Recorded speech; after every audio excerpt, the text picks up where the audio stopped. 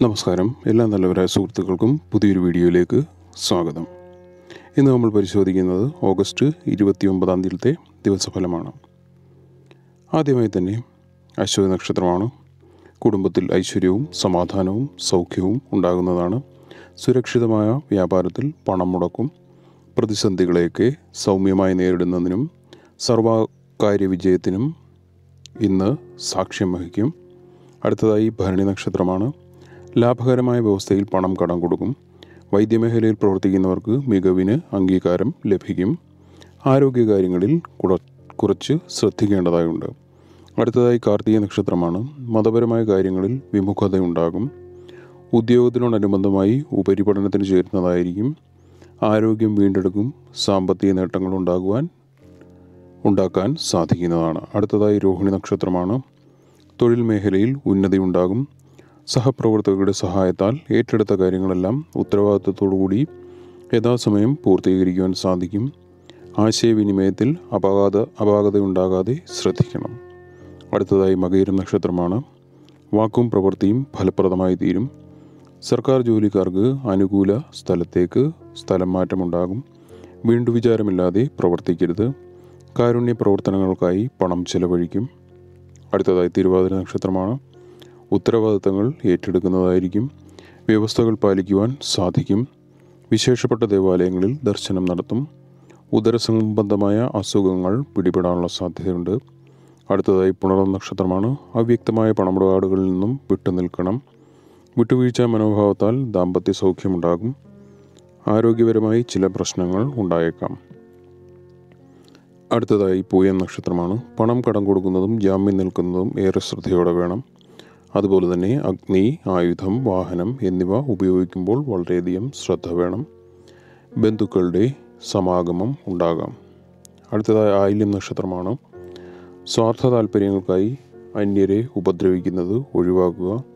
സദ്ദേശപരമായ പ്രവർത്തനങ്ങൾ നടത്തിയാലും വിപരീതമായ ഫലങ്ങൾ വന്നു ഭവിക്കും വ്യവസ്ഥകൾ പാലിക്കാത്ത ജോലിക്കാരെ പിരിച്ചുവിടുന്നതായിരിക്കും. അടുത്തതായി മകം നക്ഷത്രമാണ്. സ്വയംഭരണാധികാരം ലഭിക്കും.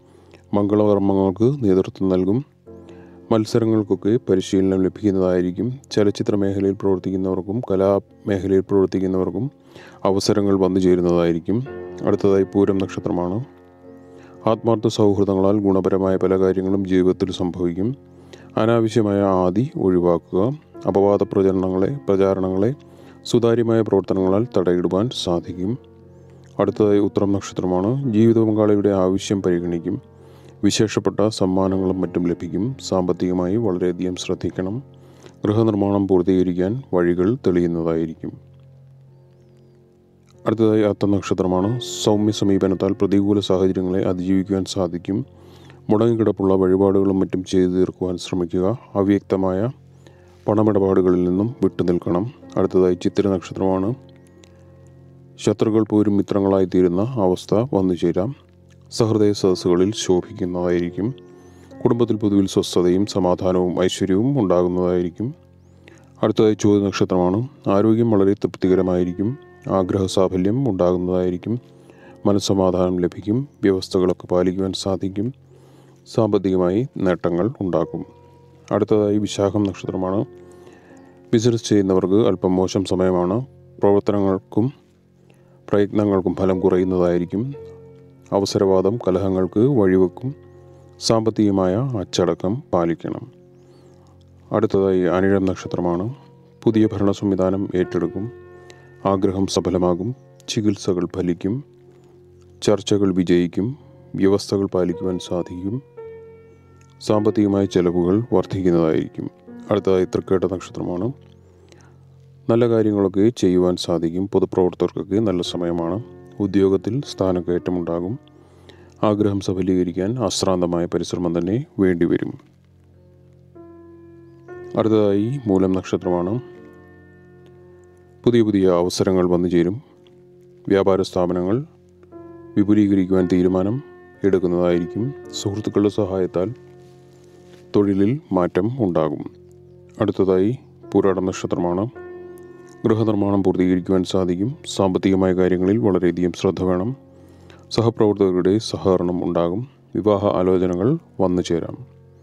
അടുത്തതായി ഉത്രാട നക്ഷത്രമാണ്. വാക്ചാതുര്യം പ്രകടിപ്പിക്കും. ജീവിതത്തിലെ വഴിത്തിരിവുകൾ ഉണ്ടാകുന്ന സംഭവങ്ങൾ ഉണ്ടാകും. വഞ്ചനയിൽ അകപ്പെടാതെ ശ്രദ്ധിക്കുക. ദൂരയാത്ര ഉണ്ടാകും. അടുത്തതായി തിരുവോണ നക്ഷത്രമാണ്. വിശിഷ്ട വ്യക്തികളെ പരിചയപ്പെടുവാൻ അവസരമുണ്ടാകും. വാക്കുകൾ വളരെ സൂക്ഷിച്ച് ഉപയോഗിക്കുക. ചെലവ് ക്രമാതീതമായി വർദ്ധിക്കുവാനുള്ള സാധ്യതയുണ്ട്. സാമ്പത്തികമായ ഇടപാടുകളിൽ വളരെയധികം ശ്രദ്ധ വേണം. അടുത്തതായി ഔട്ട നക്ഷത്രമാണ്. പ്രവർത്തനങ്ങൾക്ക് പൂർണ പിന്തുണ ഉണ്ടാകും. സന്താനങ്ങളിൽ നിന്നും ഗുണാനുഭവങ്ങൾ ഉണ്ടാകും. അനാവശ്യമായ ആശങ്ക ഒഴിവാക്കുക.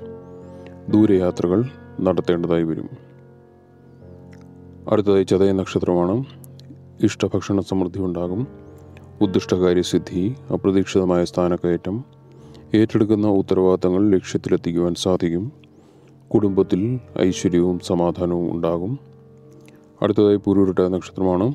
ആരോഗ്യകാര്യങ്ങളിൽ വളരെയധികം ശ്രദ്ധ വേണം. മാതാപിതാക്കളിൽ നിന്നും സ്നേഹം ലഭിക്കുന്നതായിരിക്കും. ആശയവിനിമയത്തിൽ അപകടങ്ങൾ അപ അപാകത ഉണ്ടാകാതെ ശ്രദ്ധിക്കണം. പുതിയ ജോലിക്കുള്ള അവസരം വന്നു ചേരും അടുത്തതായി ഉത്രട്ട നക്ഷത്രമാണ്.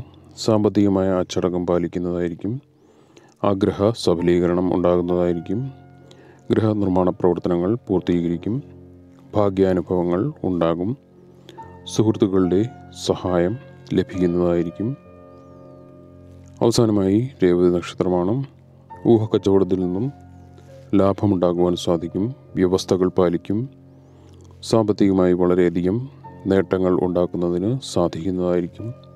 സഹോദരങ്ങളിൽ നിന്നും ഗുണാനുഭവങ്ങൾ ഉണ്ടാകുന്നതായിരിക്കും.